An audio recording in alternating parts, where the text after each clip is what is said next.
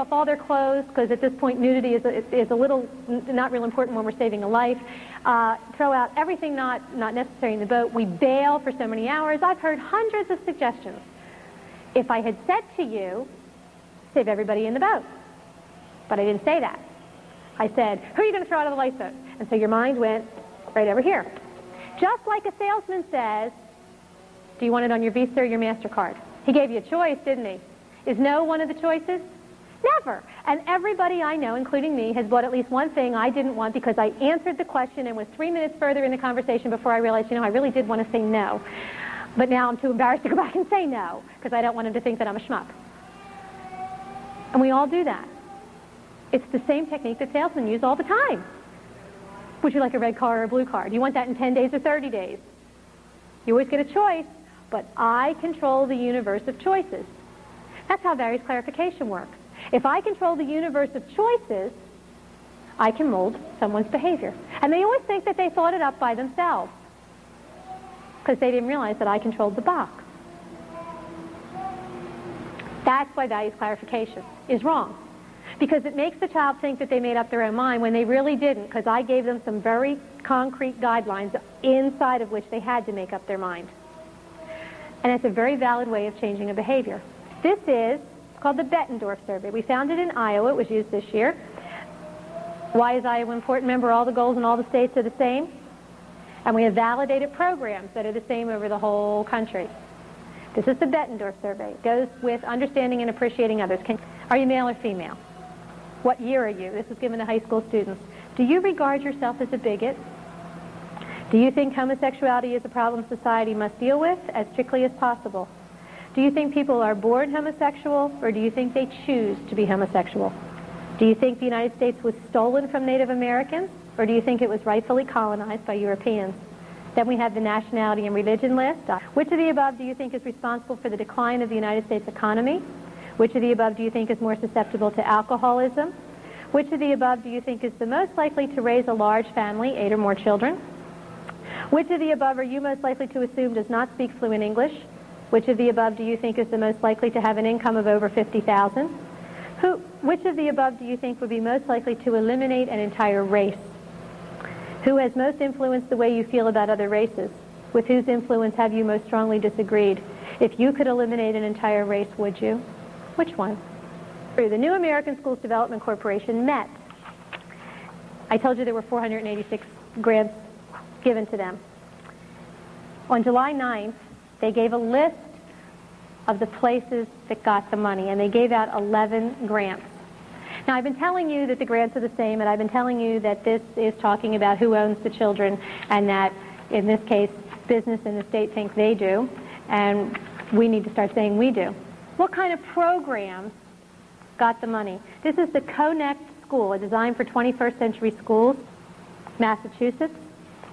It's for K through 12 inner city children.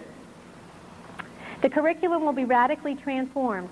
Portfolios, products, and performance assessment techniques will focus not just on subject matter, but on their abilities, dispositions, and attitudes critical for life and work. That this one is in Minnesota. It's called the Community Learning Centers of Minnesota. Social service agencies will offer needed services on site at the school, integrating services with education. Teachers will retain, retain their school charter only so long as state learning goals are met.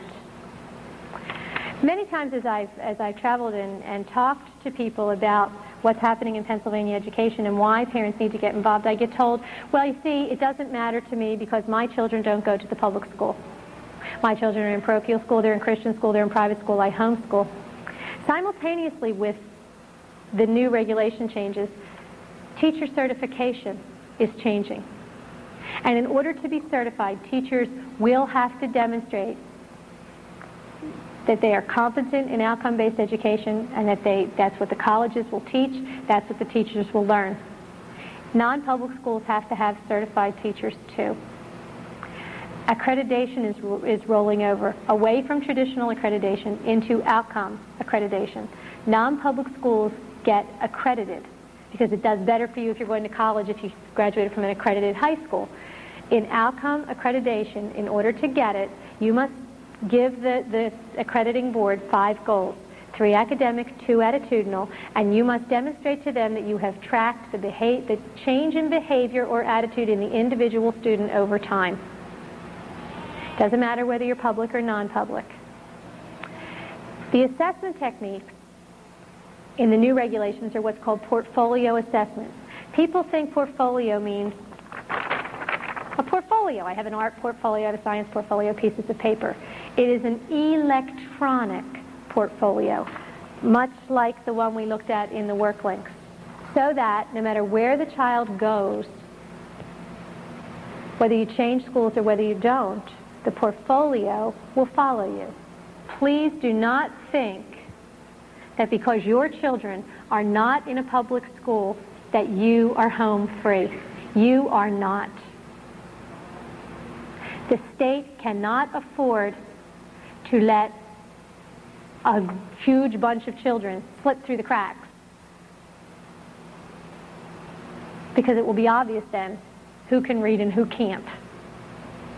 And one of the things that happens with outcome-based education is, you know, we talked about what happens with all the kids, achievement goes down. Now that doesn't show up because everybody gets an A. It may take you four years to get your A, but you're going to get an A. In the, in the testimony in front of the House Education Committee, we um, asked, through representatives, we asked Mr. Fear, well, what are the state standards in math and reading going to be? I mean, the, the student learning outcomes say you have to be able to use a calculator. They don't say you have to be able to do it without one. The communications learning outcomes don't say literate to an eighth grade level. They don't say literate to any level. So what are the standards? And Mr. Pierce said, well, every district will decide on their own. Well, that's absurd. Philadelphia, which has some rather interesting reputations in education in the state, like terrible, will say, well, if you can count to 10, you get a diploma, because then we won't have any dropouts, see? That brings our statistic right up. And Mount Lebanon in Pittsburgh, very affluent, wealthy district, will say, you have to be able to do calculus. We can't have that. You can't have 501 different diplomas in the state of Pennsylvania. That would be ludicrous. So there has to be standards somewhere. Where are they? They won't tell us. The state says this is all local control, local decisions. But if you read the regulations, the regulations say that every district must develop a strategic plan based on the state assessment, which is the EQA revisited, based on the state assessment that they must use to drive their curriculum. They also say that every district must include a local district assessment, a diagnostic assessment, to indicate how every child is doing in meeting each of the exit outcomes. Now, I want you to think about an assessment. Assessment is not easy. When you do an assessment, the test really means nothing. It's just a piece of paper with a bunch of stuff written on it. What's important is what do I want you to know? What am I testing and how am I going to score it? And does this piece of paper accurately measure the behavior I want you to show me? Is it an accurate measurement? In order to do that, I must first define the behavior and then I must validate the test and then I must see if it's reliable. Am I going to get the same numbers over different student populations over time? That's expensive. I have to do research to see what kind of instruments and how do I score it and how do I set standards. Our districts can't afford that. So what do they do? Oh, well, see, the regulations say the state will give technical assistance to all the districts to help them with their diagnostic assessments. This year, when we gave the state assessment system that everybody, member complained about, one of the things that happened in there was that the state changed testing companies away from the company that did the old TELS test into a company called Advanced Systems. And one of the reasons that they changed to Advanced Systems was because Advanced Systems is an expert in portfolio assessment. Now, if every district's going to do their own, why does the state care? Every district can't afford to do their own. The state is going to control it. The state is going to set the criteria. So the districts do this diagnostic assessment that the state's really going to do for them. Then the districts have to justify all their courses against the exit outcomes that the state mandates. They can't move away from those. That's the latter. Everything is aimed at those exit outcomes, those goals that we talked about in behavior and attitudes and skills. Everything is aimed there. And everything the district does, teacher preparation, coursework, um, any money that they spend, what they put in their library, has to be aimed at making sure that every kid hits those exit out